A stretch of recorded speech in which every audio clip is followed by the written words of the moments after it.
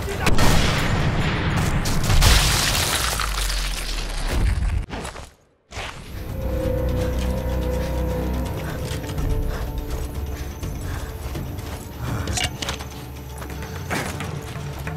must be a way to open these doors.